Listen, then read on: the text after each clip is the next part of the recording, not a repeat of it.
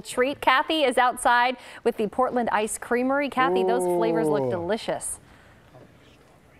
Yes, that is their homemade strawberry sorbet. And look at all these fabulous flavors salted caramel, butter pecan, Oreo. Mick Shillingford is here, and you've been serving up ice cream with the Portland Ice Creamery for a long time, Mick. Yeah, I've been uh, doing this for about 20 years. Um, we just recently started making our own ice cream about three years ago. And this truck you take around to different events?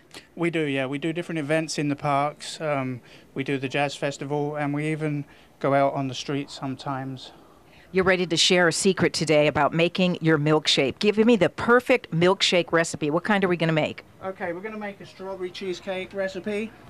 And what we do is we we fill the container with milk to the first indented line. How many ounces about is that, Mick? This is a four ounce, followed by a two and a half ounce. And then what we So do- two scoops, a bigger one and then a smaller one. What you call a kid kid, kid scoop. scoop and a regular scoop. And then we just pop it onto our machine and then just let the machine do the work. How long does it take for that machine to do its work? About a minute. A minute. Okay, secret to good ice cream. Why do you think you serve the best ice cream? What's in it? Well, we use 18% butterfat, which is the highest butterfat content you can get in an ice cream mix. And we use all natural ingredients. Um, we use top end vanilla, uh, my strawberry ice cream. I go out and personally select Oregon strawberries and we process them over a three day period. Um, and we don't put any additives in, we don't add jam, we don't add anything. You are dedicated to pure ice cream, I can tell. Right. And, uh, you know, you serve this up around town, and as you do, what would you say is Portland's top ice cream flavor? What do you get the most requests for? And we're looking at toppings right now, which you also put on. Our biggest selling ice cream is the Oreo cookies and cream. And then I would say that's probably followed by the um, the the uh, caramel salted caramel with uh, vanilla, and we make our own caramel in our kitchen at the uh, Portland Ice Cream Company. You also have a shop where you serve up your good treats. Where do we find you? Um, it's at 1206 North Killingsworth on the corner of Killingsworth and Minnesota, uh, right by the I-5 freeway.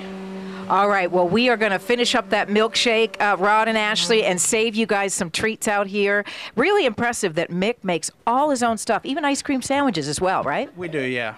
And waffle cones, which we served up to Charlie just a few minutes ago. Homemade waffle cones, we make those, and we also have a toppings bar at our parlor where we make uh, gourmet ice cream bars dipped in chocolate um, with a variety of about 30 toppings. Boy, you finished that up quickly, so I got to take a taste here. We want to know if Hey. he's hiring. We want to work for him. Yeah, and then, and then Kathy, if you can hear Mm, me, that is fantastic. we also noticed Yeah, it looks hear you, like you get pretty much a half an Oreo cookie.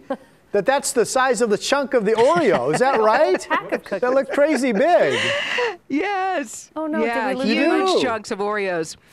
All right. Well, And. Charlie, our, our little girl at the top who was served up, that was her choice, the Oreo Yeah. chocolate ice cream. right, what- what- we'll be back in a few minutes, and you guys are going to join me and try some of this. yeah, they had me at uh, high butterfat, man. I, I'm in. We're sold. High butterfat, I'm All there. Thanks, Kathy. Well, you know the warm weather also